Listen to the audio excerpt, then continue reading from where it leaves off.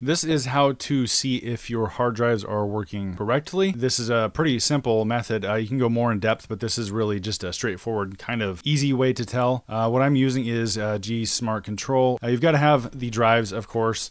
I'm using some SATAs for this. I've got an external reader. You don't have to have that. You can put them in your PC if you want to. That'll take a little more time. I'm not going to go over the external reader, but it hooks up and I pop them in. I pop them out if I want to. What we do is we go to here. Basically, uh, you can just Google that, GSmartControl, and then go to downloads, and then you download it and install it. Uh, depending on what you got, Windows 7 or later. Uh, I imagine most people would be that. If you're not sure, use that. It'll install for you. Click that and it will download. Don't uh, download it to your TRS-80 Radio Shack folder. I'll just put this in my downloads. I've got Crystal Disk Info. I don't really care for that program. Um, it doesn't seem to go as in depth as GSmartControl, and it looks like it's from 2007, which each their own. It's just it's not for me. I don't really care for it. So I'll go ahead and save it and uh, run as administrator.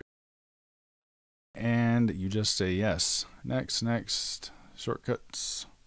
There we go, and it installs. Finish. There we go. It's got my two drives that are in my PC right now. So I'm going to pop this one in. It says dead. It's a Hitachi blah, blah, blah. You don't need to know the number on that. One thing to note is that the 2.5, the laptop drives take a lot less time to show up on here than um, the 3.5s. And this one is clicking. That's why I've got it marked as dead. So you go rescan. This doesn't rescan automatically. And it will show, there we go. This is an old Apple one. You can go to view details and it'll show you all this. Um, it gives you the serial number, firmware version, blah, blah, blah, um, the capacity. So attributes right here, and these will show as red if there's some sort of failure. This one didn't show anything after I did a test, but it's physically clicking. So I am not going to use this. Now, if anything shows up red, I don't feel comfortable putting data on there. I don't want to put anything on a hard drive that is likely going to fail much sooner than any other hard drive. This program does give a power on time, power cycle count right there, it's not too terribly high on this one. It's okay, but it is physically clicking, which is why I'm not going to use it. Now, if you hover over anything, um, except for unknown attribute, so if you hover over power cycle, it tells you that's the number of power start stop cycles.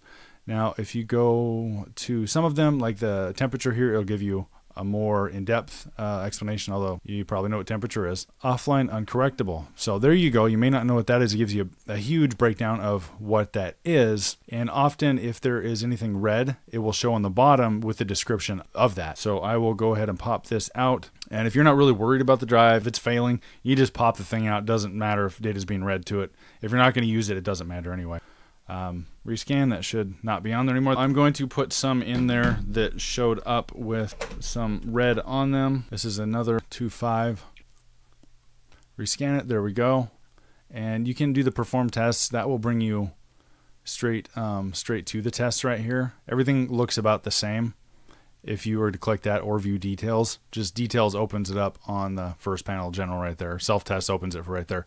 Now as you can see there's some red right here attributes. That's what i was telling you about. You'll if you hover it over it you'll see on the bottom and if i move my mouse down there it just disappears. So uh, just look down there. At the bottom it says notice in red. It's an indication of future failures or potential data loss in the bad sectors. That does give a description of why it's red. And in statistics there we go uh, some will have more than others, and this is the error log. I think it stores on the drive because there were some drives that I put on here to read into this program, and I'd never done that with these before, and it already had error logs. So I imagine they retain the error log on the drive itself, but I'm not 100%. That's my assumption. I'm not going to use this one because it is taking a nosedive eventually. These were all ones that I just had sitting around that I hadn't done anything with in years. So I'm fine with just tossing these. Those are the basics of the program. Uh, it goes a little bit more in depth. I'm not going to go too much more in depth than that, but that gives you a general overview. And I will also show you this is a 3.5. Oh, so I'm going to put this one in and I'll show you one of the tests.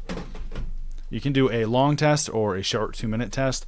On the smaller drives, the 2.5s, the, the longer test is going to take a lot less time.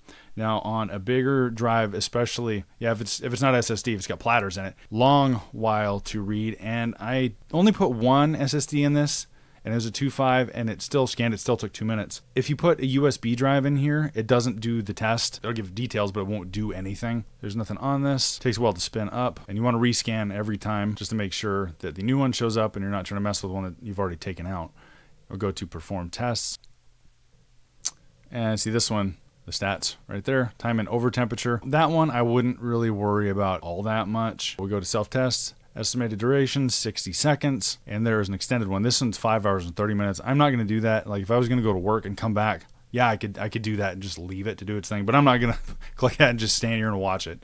So we'll go to the short test and execute that. And another thing that might happen if you do the short self test that happened with this specific drive may happen now as well, but it gets almost to the end and then just hangs. It doesn't do it doesn't do anything at all. So we shall see once it gets to I think it was about here.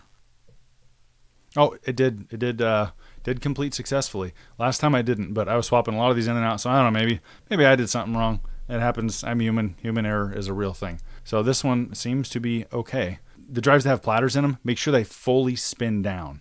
You don't want to pop them out and they're spinning, you move them, and, they, woo, and you drop them. So I almost did that with a couple earlier. That uh, was not a fun, not a fun time. They'll dent the floor, hurt your foot, whatever. But anyway, that is a quick overview of this uh, program. It's not sponsored by them. I've just gone through a bunch of programs, and this is the one that best fit what I was looking for.